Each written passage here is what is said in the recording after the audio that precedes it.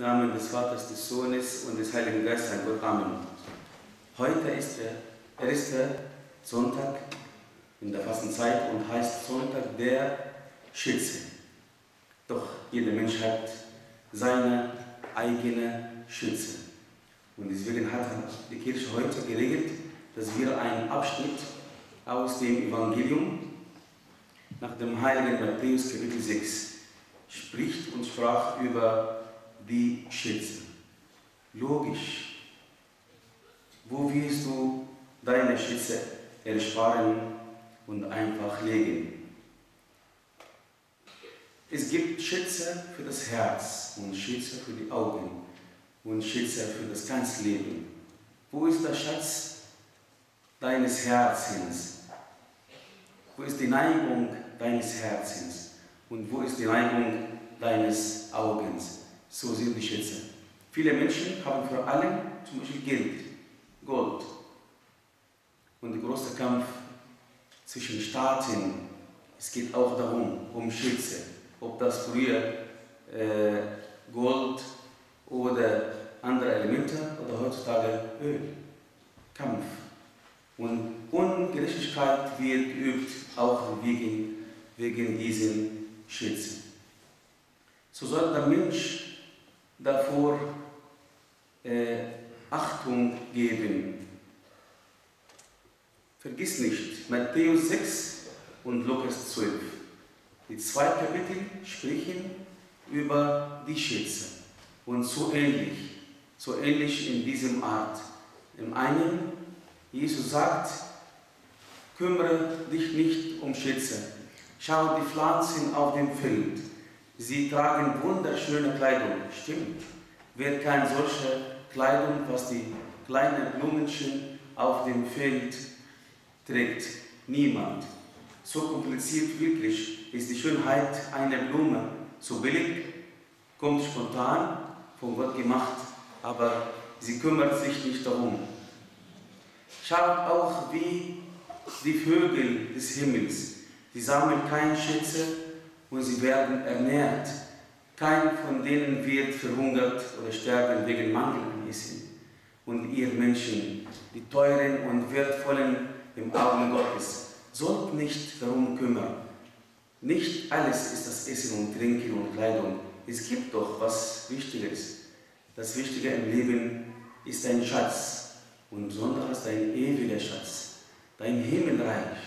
Wir sind Menschen, die auf einer vorübergehenden Erde leben, um weiter danach im Himmel zu leben. Gott hat das uns ermöglicht, dass wir hier auf einer Vorbereitungszeit und Ort zu leben, damit wir echte Schätze sammeln. Wenn du viel Geld und Gold sammelst, dann hilft nicht. Du gehst einfach mit leeren Händen. Und was machst du dann damit? Nichts. Viele Menschen tun das. Wunderbar ist in Lukas 12 auch, nicht nur heute, in Matthäus 6, in Lukas 12, ein Mann kam zu Jesus und sagt, Herr, Meister, äh, sag meinem Bruder, sag ihm, dass er mit mir die Erbe teilen sollte. Und Jesus hat geantwortet und sagt, Mensch, wer hat mich als Richter für euch gerichtet? Und hat abgelehnt, das Thema zu diskutieren. Das heißt, Jesus lehnt ab Streit zwischen Menschen und Menschen, Brüder und Brüder, Geschwister um Geld und Erbschaft. Und gleich danach hat ein zweites Gleichnis gegeben. Ein Mann, sehr reicher Mensch, in diesem Jahr, in einem Jahr, sein Ackerland hat hundertfach äh, Früchte mehr gebracht. Zu viel Weizen und Körner und alles. Reicht für ihn für Jahre lang.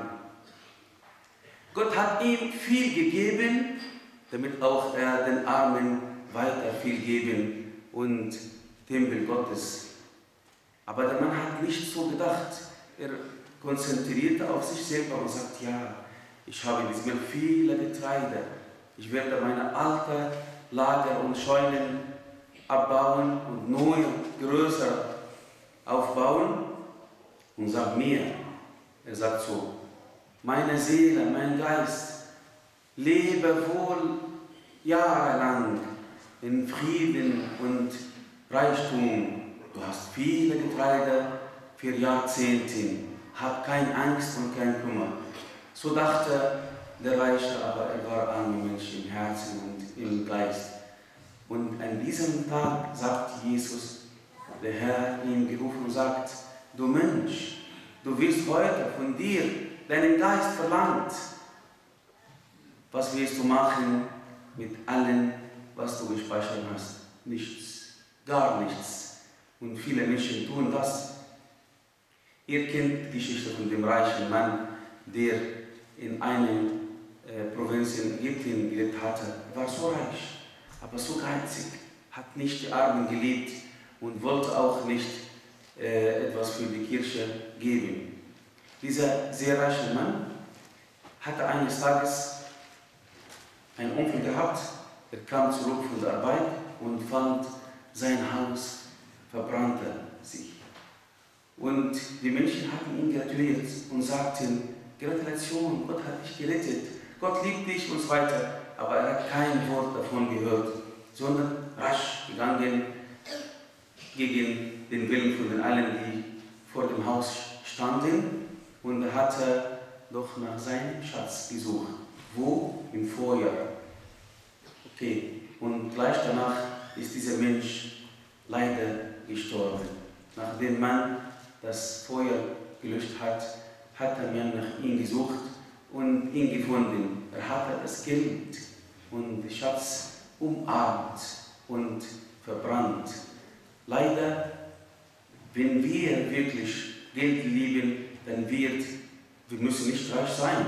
Nein, es gibt auch arme Menschen, die ihr Schatz ist auch Geld, trotz dass sie arm sind, trotz dass sie nichts besitzen. Es geht nicht um viel oder wenig, es geht um Prinzip im Leben. Hast du Geld lieb oder nicht? Und Liebe zum Geld ist gefährlich. Dieser Mensch ist leider gestorben wegen Liebe zum Geld. Auch Judas, auch viele Menschen. Aber viele andere Menschen werden auch sterben wegen Liebe zum Körper oder Liebe zu Stärke oder Liebe zu Ehre und Ruhm. Viele Menschen werden äh, wegen falscher Liebe aussterben. Wo ist dein Schatz?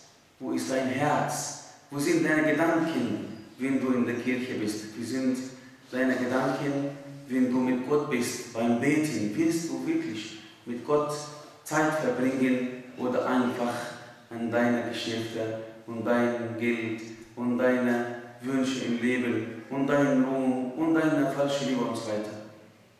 Wo ist dein Schatz? Sagt und fragt dich heute Jesus. Eine Bitte, liest mal diese zwei Abschnitte aus dem Kapitel 6 im Evangelium nach Matthäus und auch aus dem Kapitel 12 Evangelium nach dem heiligen Lukas und fragt euch jeden Tag, ab heute, bis Jesus zu dir kommt, wo ist mein Schatz? Wo ist mein Herz? Und die letzte Frage, hast du wirklich für deinen ewigen Schatz etwas vorbereitet und erspart oder nicht? Hast du wirklich dort im Himmel Schatz oder bist du dort im Himmel und so bedürftig, sodass nichts bei dir zu finden? Heiliger Petrus, es gab einen Heiligen, war zuerst so geizig und hatte in einem Traum gesehen, dass im Himmel für ihn ist nichts außer einem äh, getrockneten Brotchen, äh, das für einen Armen gegeben hat. Lege im Himmel, speichere im Himmel für dich zu viele Schätze, damit wenn du kommst, wenn du dorthin kommst, du findest etwas für dich. Lebe nicht dort als armer Mensch. Sei reich, weil dein Vater im Himmel reich ist. Er sei unseren Herrn in der Ewigkeit. Amen.